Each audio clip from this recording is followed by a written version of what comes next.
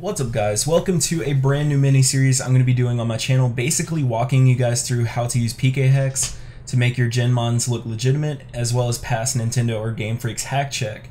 Each of these videos will be assuming that you already have access to a homebrew 3DS because I will not be walking you guys through how to homebrew your 3DS. Because I do not want to be responsible if you guys mess up and break your 3DS. So Joedor makes a bunch of tutorials on how to access Homebrew, and uh, I'll leave a few of those videos in the description of this video. These videos are basically meant for educational purposes for my friends who are having trouble genning their mons. And uh, I know Pokemon genning is a hot button topic in the community right now. I'm sure there's going to be a lot of hate in the comment section, but uh, I really don't care. Alright guys, welcome to what I believe is going to be the last episode of this PKHex tutorial series. Unless you guys can think of anything I missed, um, then I'll gladly make a video on that. But in this video, I'm going to show you guys how to get uh, like Wish, uh, Soft Boiled, and Seismic Toss on like Chansey, um, and also Clefable. So they literally work the same way. Um, how you get it is from the Pokemon transfer from Fire Red or Leaf Green. So for this example, we're going to go with Clefable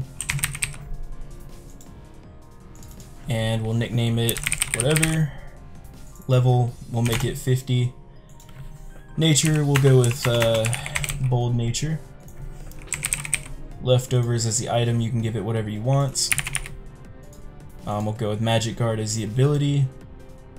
We'll give it the Pokerus, and then we'll put my location and Americas. Alright, so Met, this is where things get uh, interesting here. So you have to make it from Fire Red or Leaf Green. We'll just go with Fire Red. It's going to auto uh, fill out the Poke Transfer for you, and then you can just leave it in a Pokeball. Met level will set to 50, and then you can leave the date alone. You don't have to do anything as far as eggs. Um, so for the stats, we'll go ahead and give it max everything except for attack because attack doesn't matter on a Clefable.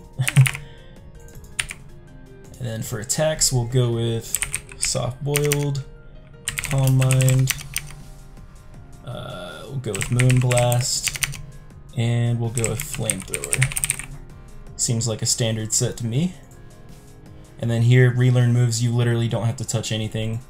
Um, and you don't even have to touch anything here, you can just make the OT whatever you want. Um, we've been we've been making the OT John, so whatever you can copy that if you want to. You can leave the TID and SID alone unless you just want it to have your own.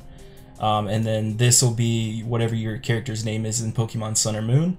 And then you can you don't have to uh, press reroll here because it doesn't do anything. You just go back to the main tab, reroll here. And if you want to, you can make it shiny. I actually prefer non-shiny Clefable and click that and as you can see that is a legal Clefable with soft boiled. You could also go with uh, uh, seismic toss. Forgot the name of the move. Um, it also learns that um, or wish. So yeah all of those moves are in fact legal as you can see. So you just have to make sure that the origin game is fire red or leaf green. Poke transfer make sure it's in a pokeball you can put the met level to 50 or basically what it does is it makes it uh, whatever level it is when it gets sent to your game. So that's how that works. And that's literally it, guys. Um, like I said before, I think this is the last episode, unless I missed anything. If you can, uh, if you need help genning something, let me know. I'll be glad to make another video, but uh, I'm gonna get out of here, guys. I love you. Peace out. Oh, and also, before I forget, right click, and set in your box, and you're done. Now peace out.